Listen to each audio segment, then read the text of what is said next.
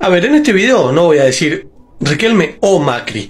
Me dijeron hacer una comparación de las gestiones que tuvieron cada uno sus primeros cuatro años. Porque todo el mundo dice Macri eh, nos dio 16 títulos. Está bien, pero Macri estuvo del 95 al 2008. Hay que analizar primero los primeros cuatro años de Macri con los primeros cuatro años de Ameal y Riquelme.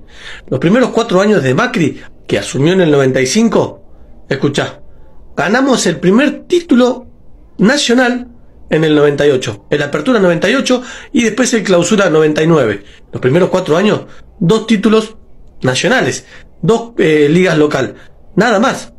Participación en la Copa Libertadores, 95, 96, 97, 98 y 99. Boca no participó de la Copa Libertadores. Volvió a la Copa Libertadores en el 2000.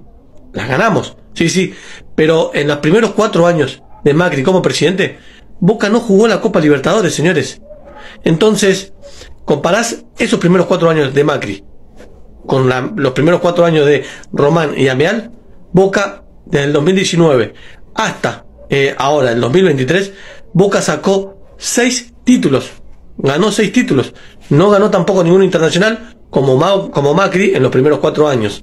Pero Boca participó del 2019, semifinal, 2020, 2021, 2022, 2023 siempre fue protagonista en la Copa Libertadores, llegando a una final de la Copa Libertadores que fue este año y la perdimos. Entonces, analiza los primeros cuatro años de Macri y los primeros cuatro años de Riquelme Ameal.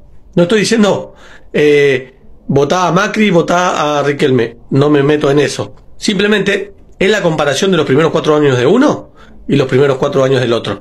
¿Querés hacer una comparación con los 16 títulos de Macri?